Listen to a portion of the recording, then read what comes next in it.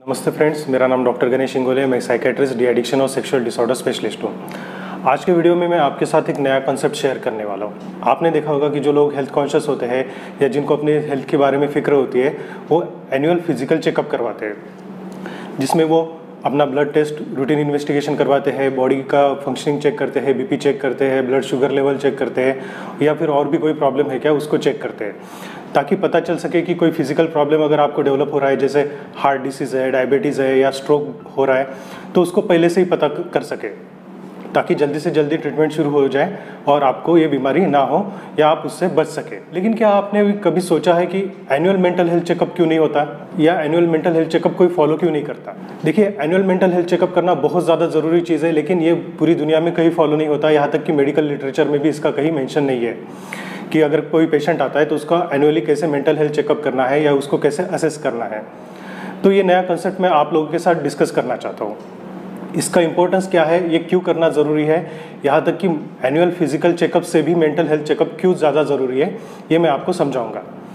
देखिए, जैसे कि हम इम्पोर्टेंट डिसीज़ेस की बात करते हैं लाइफस्टाइल डिसीज़ेस की, जैसे हाइपरटेंशन डायबिटीज़ या फिर स्ट्रोक इनकी मेन वजह क्या होती है? लाइफस्टाइल में चेंजेस और इसका मेन फैक्टर क्या होता है? जो लाइफस्टाइल में चेंजेस होते हैं, उससे स्ट्रेस बढ़ता है। स्ट्रेस बढ़ने की वजह से ये लाइफस्टाइल डिसीजेस होते हैं। किसी को स्ट्रेस हो रहा है तो वो स्ट्रेस ऐसे तो नहीं है कि एक साल का या एक दो महीने के स्ट्रेस से हाइपरटेंशन हो जाएगा या डायबिटीज़ हो जाएगा। इसके लिए लंबा पीरियड चाहिए होता है। तो आपने देखा होगा कि जो हाइपरटेंशन डायबिटीज़ होता है, ये जनरली थर्टीज़ में शुरू होता है। यानी कि thirty five years above forty years के एज से ये हाइपरटेंशन वगैरह, ये डिसीजेज शुरू हो जाते हैं। लेकिन जो मेंटल इलनेसेस होते हैं, जिसकी वजह से ये फ़िज़िकल इलनेसेस होते हैं, वो काफ़ी सालों से पहले से ही शुरू हो जाते हैं। यानी कि इनमें जो गैप पीरियड होता है, लगभग 20 साल का होता है। एंग्जाइटी या डिप्रेशन जैसे जो मेंटल इलनेसेस होते हैं, ये अराउंड 18 ईयर्स की एज में शुरू हो जाते हैं। जनरली जब हम 18 साल के होते हैं, तब हमारी एक पर्सनैलिटी डेवलप हो चुकी होती है। किसी की पर्सनैलिटी में एंशियस ट्रेट हो सकते हैं या किसी में डिप्रेसिव ट्रेट्स हो सकते हैं। ये अलग अलग ट्रेट्स अलग अलग टाइप के इलनेसेस को बढ़ावा देते हैं। तो जब ये ट्रेड्स हमारे अंदर होते हैं तो उसके साथ ही जब बाहर के एक्सटर्नल फैक्टर्स आते हैं, जो स्ट्रेस को बढ़ावा देते हैं तो उसकी वजह से मेंटल इलनेस डेवलप होते हैं। तो ज़रूरी नहीं कि आपको मेंटल इलनेस होने के बाद ही स्ट्रेस डेवलप होगा और आपको फिर उसकी वजह से फ़िज़िकल इलनेस होगा।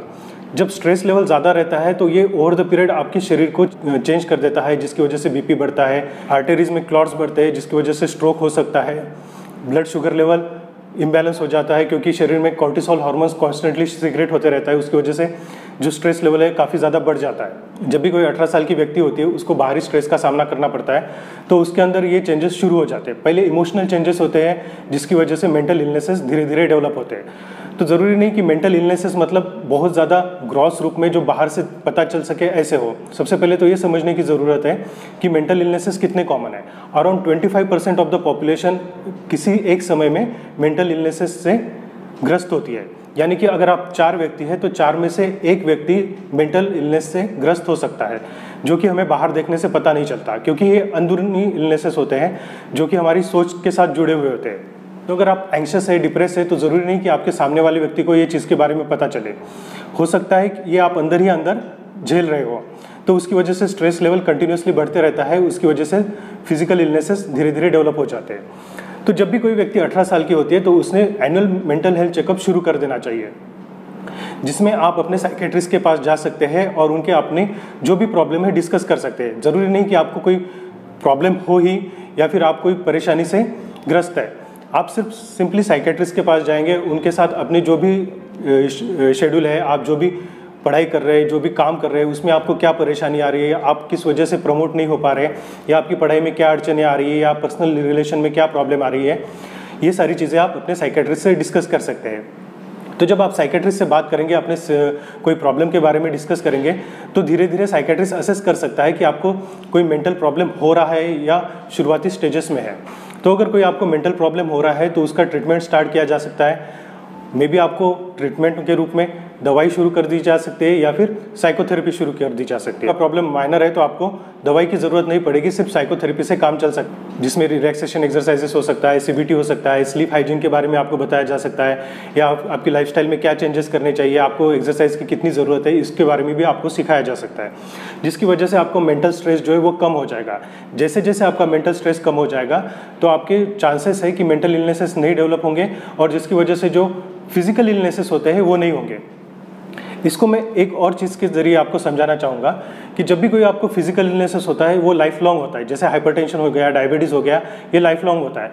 इसकी एग्जैक्ट क्योर नहीं होती है। सिर्फ़ मेडिसिन देके इसको दबाया जाता है। यानी कि अगर हाइपरटेंशन है तो मेडिसिन की वजह से आपका हाइपरटेंशन कम रहेगा।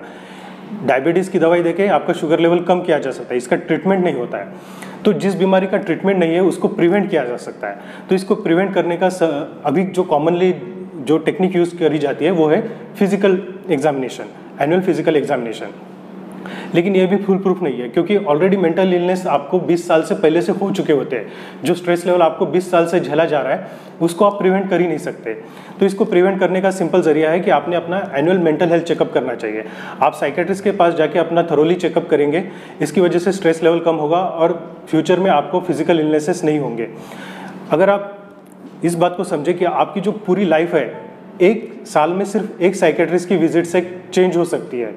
तो ये डेफिनेटली वर्थ इट है। मे बी आपके साइकेट्रिस्ट आपको कुछ फ़ीस चार्ज करेंगे कहीं पे ये पाँच सौ रुपये हो सकते हैं कहीं पे हज़ार रुपये हो सकती है। लेकिन इसको आप एक इंश्योरेंस के जैसे समझ सकते हैं कि अगर मैं फ्यूचर में मेड, मेडिकल इलनेसेस होता है तो उस पर मेरा खर्चा कितना होगा मेरा कितना टाइम वेस्ट होगा मैं अपने करियर में प्रोग्रेस नहीं कर पाऊँगा। तो इन सारी चीज़ों को अगर आप एक विज़िट से कंपेयर करके देखेंगे तो आपको ये काफ़ी ज़्यादा बेनिफिशियल रहेगा। हेल्थ के आस्पेक्ट में भी मॉनिटरी आस्पेक्ट्स में भी। तो मैं आशा करता हूँ कि इस वीडियो के ज़रिए मैंने आपको एनुअल मेंटल हेल्थ चेकअप का इंपॉर्टेंस समझाने की कोशिश करी है। तो अगर आपको वीडियो इन्फॉर्मेटिव लगा तो डेफिनेटली इसको ज़्यादा से ज़्यादा लोगों के साथ शेयर कीजिए, ताकि लोगों में साइकेट्री के बारे में अवेयरनेस डेवलप हो, और मैं ये जो नया कॉन्सेप्ट इंट्रोड्यूस करना चाहता हूँ, इसको ज़्यादा से ज़्यादा पब्लिसिटी मिले और लोगों का भला हो।